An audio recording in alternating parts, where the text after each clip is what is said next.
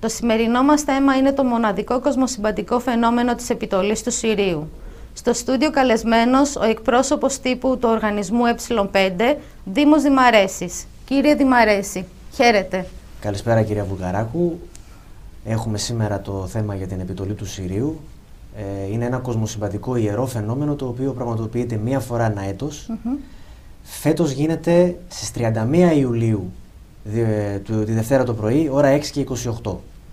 Το φαινόμενο αυτό είναι όταν ε, ο Σύριος Α ανατέλει ταυτόχρονα με τον ήλιο του ηλιακού μας συστηματος και κατά τη διάρκεια αυτής της ευθυγράμμισης όλο το θαλασσινό νερό γίνεται υφάλμηρο για λίγα λεπτά της ώρας ε, και πόσιμο.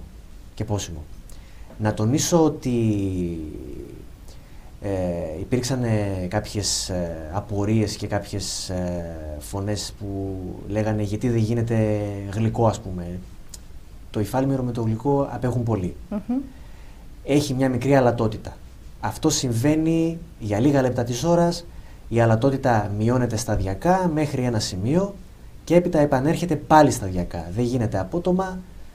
Ε, αυτό συμβαίνει, είναι ιερό το φαινόμενο αυτό πραγματοποιείται μία φορά ένα έτος, ορίζεται από την δημιουργία, όχι από εμάς, Ναι. και γι' αυτό είναι ιερό.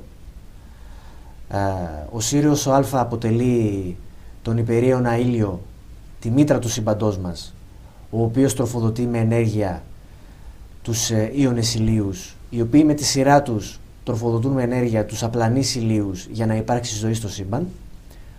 Ο ήλιος του ηλιακού μας συστήματος είναι απλανής. Μμμ. Το φαινόμενο αυτό ε, μερικοί μπορεί να το συγχαίουν με την ανατολή του ηλίου να πούνε δηλαδή ότι ε, ναι τώρα γίνεται η ανατολή του ηλίου άρα έχουμε και επιτολή. Όχι.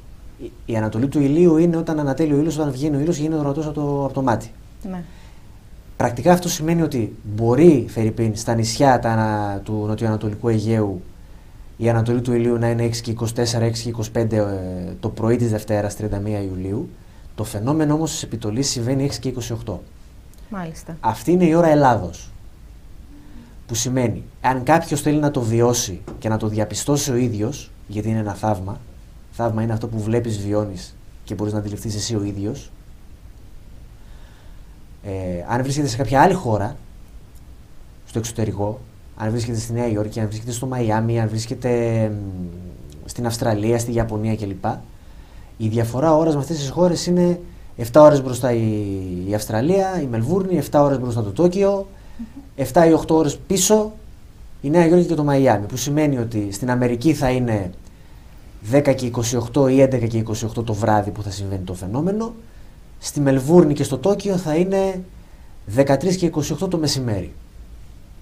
Στην Ελλάδα όμως και πάντα με βάση την ώρα της Ελλάδας υπολογίζουμε το φαινόμενο αυτό θα είναι 6 και 28 το πρωί. Το Ωραία. πρωί. Μμμ.